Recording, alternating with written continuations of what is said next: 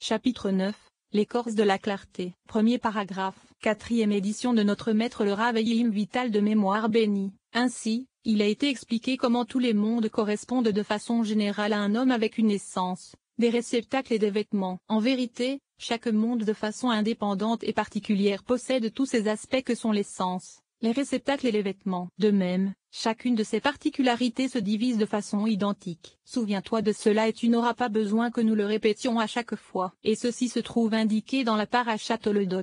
DAF 134. Nous allons maintenant expliquer cela à partir du monde de l'Atsilut en nous dirigeant vers le bas. Ainsi, dans l'Atsilut se trouve un Nefesh, un Ruach, une Neshama, une Eya, une Yeshida, ainsi que les membres du corps appelés réceptacles. Et puisque la Eya et la Yeshida sont des environnantes, les réceptacles ne possèdent que trois aspects correspondant au Nefesh, au Ruach et à la Neshama qui sont des intérieurs. Or tu sais déjà que le cerveau est le réceptacle de la Neshama, le cœur celui du Ruach, et le foie celui du Nefesh. La Neshama se propage dans tout le corps du cerveau jusqu'aux pieds, et c'est ce qui est appelé Gadlout de Zahir en car cela correspond au cerveau. Puis le Ruach se propage dans le cœur, et de là vers le bas dans tout le corps, et c'est le réceptacle intermédiaire appelé allaitement car le cœur se trouve dans les six extrémités. Or ceci correspond à l'allaitement, et il revêt la Neshama ainsi que le cerveau en les recouvrant. Ainsi, la Neshama n'est décelable que dans le cerveau car dans le torse elle est dissimulée. Ensuite, le Nefesh se propage à l'intérieur du foie, puis de là vers le bas il revêt le Ruach et le cœur. C'est pourquoi le Ruach n'est décelable que dans le cœur. Ceci correspond à l'ordre de leur racine, car tu sais déjà que toute la Tsilut suit ce modèle puisque Bina qui est la Neshama est à moitié révélée et à moitié dissimulée dans Zahir Ampin qui correspond au Ruach. De même, Zahir Ampin est à moitié révélé et à moitié recouvert par Nukba qui correspond au Nefesh. Il se trouve que la propagation du réceptacle du cerveau dans tout le corps est le secret des nerfs non creux et de la moelle des os. Et par-dessus se trouvent les vaisseaux appelés veines pulsatiles qui ne contiennent pas de sang mais le Ruach du cœur et elles revêtent les nerfs qui se propagent depuis le cerveau ainsi que la moelle des os. Ensuite, nous avons les veines pleines de sang qui se propagent depuis le foie et qui revêtent les veines ne contenant pas de sang, comme nous le savons d'après les médecins, car les veines pulsatiles se trouvent au-dessous des veines sanguines. Ainsi, il a été expliqué qu'il existe trois réceptacles les uns à l'intérieur des autres, et ce sont les aspects de la grossesse, de l'allaitement et des cerveaux, et ce sont les réceptacles du nefesh, du Ruach et de la Neshama car aucun réceptacle ne correspond à la Eya ou à la Yeshida puisqu'elles ne sont pas intérieures. Et par-dessus se trouve la chair qui les recouvre, ce qui est appelé chair rouge. C'est le secret du H-mal qui entoure tous les réceptacles. Ceci correspond au verset, comme une sorte de H-mal de l'intérieur du feu, le feu rouge. C'est donc le secret de la chair rouge. Ensuite, nous avons la peau qui correspond à l'arbre de la connaissance du bien se trouvant dans l'absiloute. Ainsi, la chair correspond au nom Elohim qui entoure et se trouve appelé trône des étincelles, car la forme développée en indice Yod d'Elohim a la valeur numérique est 300, et son ribua a la valeur 200, et avec les deux collèles on obtient la valeur numérique du mot bazar. Or il nous a été expliqué que le mot or correspond à Ruach et à la lettre Vo qui est le bien en son sein, comme cela est indiqué dans les Tikkunim, Tikkun 69, DAF 150 car c'est l'arbre de la connaissance du bien et du mal. En vérité, dans l'Atsilut le mal est séparé et se trouve à l'extérieur comme cela sera expliqué avec l'aide de Dieu. Ensuite, les mondes de Beria, Yatsira et Asya revêtent l'Atsilut comme nous le savons. Ainsi, lorsque Malkout descendit pour devenir la tête des renards, les corps supérieurs se revêtirent plus bas car le réceptacle intérieur du cerveau descendit dans Beria et devint une Neshama bien qu'il s'agisse de l'aspect d'un réceptacle car il devint une Neshama pour le monde se trouvant au-dessous de lui. Cependant, dans son propre monde un réceptacle ne devient jamais une Neshama, et la Iya ainsi que la Yeshida ne se revêtent jamais comme cela a été indiqué. Le réceptacle intermédiaire du cœur qui est le réceptacle du Ruach descendit dans Yetzira et y devint une Neshama et Yetzira recouvrit et revêtit alors en partie Beria à l'image du cœur qui recouvre le cerveau dans la Tsilut ou en pin qui recouvre Bina, et le réceptacle extérieur du foie qui est celui du Nefesh de la Tsilut devint une Neshama pour Asya. En vérité, il est certain que la Neshama se trouvant dans Yetzira est une Neshama vis-à-vis de Yetzira elle-même, cependant elle n'est qu'un Ruach vis-à-vis de l'ensemble des trois mondes de Beria. Yetzira et Asya. De même, la Neshama d'Asya n'est qu'un Nefesh vis-à-vis de l'ensemble car dans la Tsilut se trouvent les trois réceptacles du Nefesh, du Ruach et de la Neshama. Il faut que tu saches à propos de l'intériorité et de l'extériorité des réceptacles que bien que chacune d'elles possède trois aspects qui sont la grossesse, l'allaitement et les cerveaux,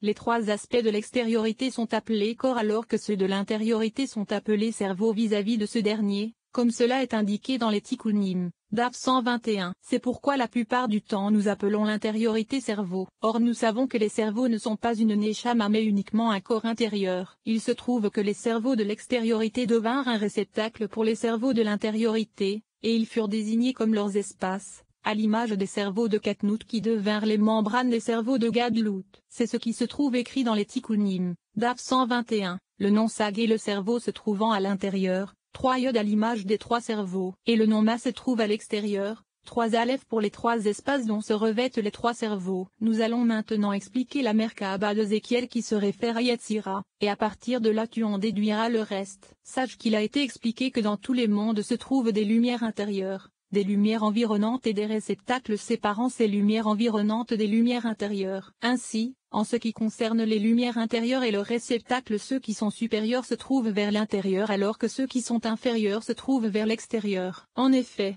Attic est intérieur et son réceptacle est le plus intérieur de tous, et au-dessus se trouve la lumière intérieure et le réceptacle d'Arikampine, et ainsi de suite jusqu'à la lumière intérieure d'Asia et son réceptacle qui revêtent tous les mondes. Mais en ce qui concerne les lumières environnantes nous avons le cas inverse, car ce qui est inférieur est plus intérieur. En effet, l'environnante d'Asia se trouve au-dessus des réceptacles d'Asia, et au-dessus se trouve l'environnante de Yetzira et ainsi de suite. Il se trouve donc que les réceptacles d'Asia correspondent au point central de la totalité d'Asia et de tous les mondes, au milieu des lumières intérieures et environnantes et notre Terre correspond au point central d'Asia et de tous les mondes. Après avoir appris cela nous devons revenir à notre sujet c'est-à-dire au fait que les écorces d'Asia sont ce qu'il y a de plus central dans tout Asia ainsi que dans l'ensemble de tous les mondes, en dehors de notre Terre. En vérité, ce sont uniquement les lumières environnantes que les écorces revêtent et entourent, et c'est vis-à-vis d'elles qu'elles sont ce qu'il y a de plus extérieur. Nous allons donc commencer à partir de la.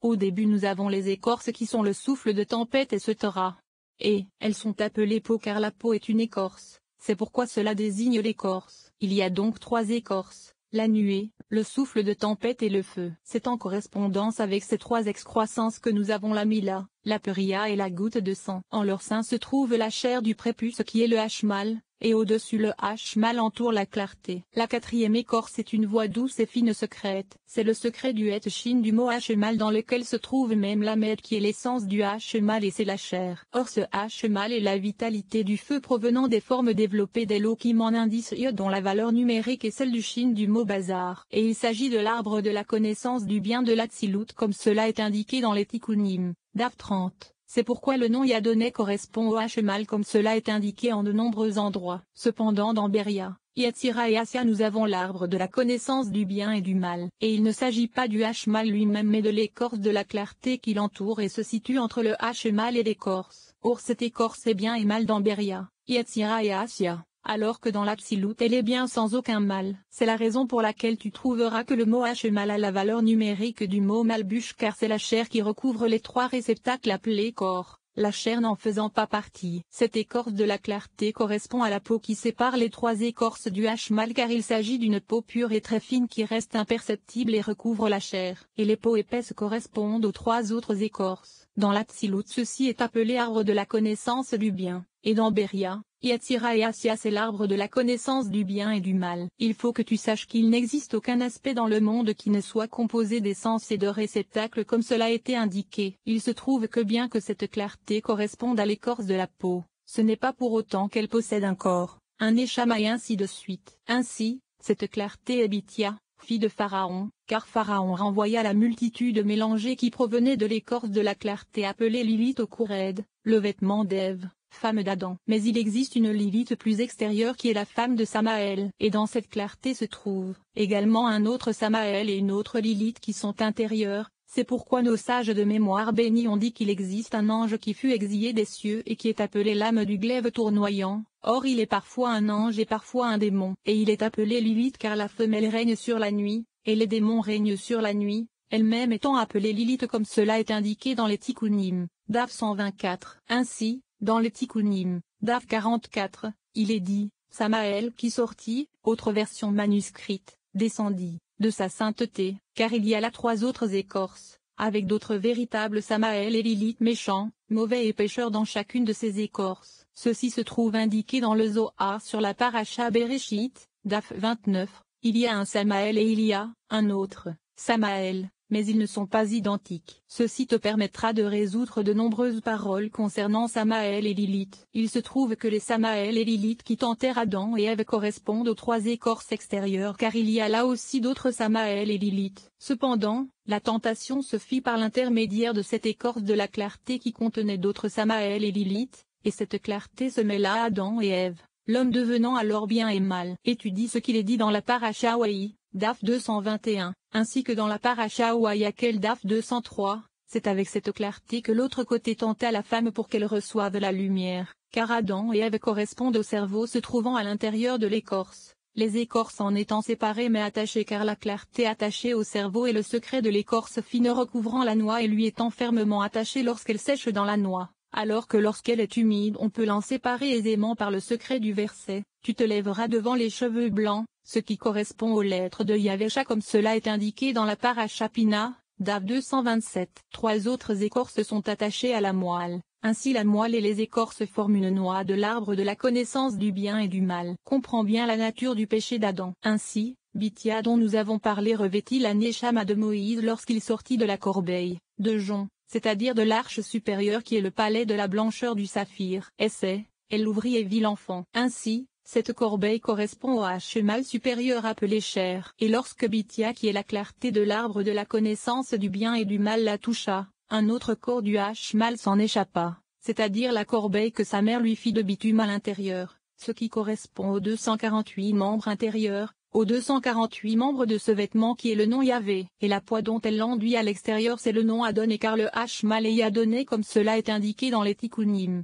Tikkun 30. Ceci correspond au secret de Yadonné avec la poids à l'extérieur car le nom Adonné précède le nom Yahvé. Ainsi, ce tétragramme se trouvait dans Moïse, et lorsqu'il se revêtit également de la clarté de Bithia la fille de Pharaon, le premier corps du H mal le quitta alors et retourna vers le buisson d'épines. Ainsi, le H mal de Bithia fut totalement réparé et tout devint bien. Ceci constitue le secret de la lèpre qui ensuite redevint comme sa chair, c'est-à-dire que ceci se réfère au premier corps du H mal appelé chair comme cela a été indiqué car la peau redevint chair puisque le démon se transforma en ange. C'est le secret du bâton qui se transforma en serpent puis redevint un bâton, car il se revêtit alors du premier corps du H mal comme cela est indiqué dans les Tikkunim. DAF 42. Ceci constitue le secret du verset. Retire tes sandales c'est-à-dire le mal se trouvant sur la sandale car alors tout ne sera que bien. Cependant, il ne retira pas tout le bien et le mal car il ne retira pas tout ce vêtement, et le bien qu'il contenait fut totalement purifié et s'associa au mal intérieur, l'ensemble redevenant l'aspect du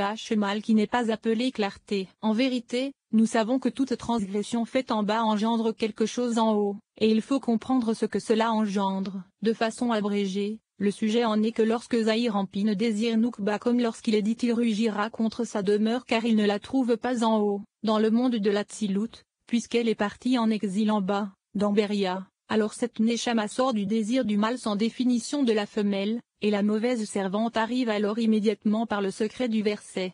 Et la servante quand elle hérite de sa maîtresse car elle prend cette Neshama. Comprends bien ceci et tu verras ce que la transgression engendre en haut. Troisième paragraphe. Sache que l'arbre de la connaissance du bien et du mal correspond de façon générale à la moelle avec les écorces de la noix, mais son principe ne correspond qu'à l'écorce de la clarté car elle est bien et mal. C'est le secret de ce qu'il est dit dans les Tikkunim. DAF 66. Cette clarté est également appelée l'âme du glaive tournoyant comme cela est indiqué dans les Tikkunim. DAF 65. Or tu sais déjà que cette écorce contient l'ensemble des dix séphirotes, et qu'il existe une écorce de la clarté au niveau de Bina car il y a là le bien et le mal, le bien l'emportant et transformant le jugement en miséricorde pour les justes dans le monde à venir qui est Bina. La clarté se situant au niveau de Malkout est majoritairement mal, et c'est là que la miséricorde se transforme en jugement. Ceci se trouve indiqué dans la Tosefta sur la Paracha Ouera, DAF 27. Étudie cela. Ainsi, tu verras qu'il s'agit de l'image de Nabucodonosor comme cela est indiqué dans les Tikkunim,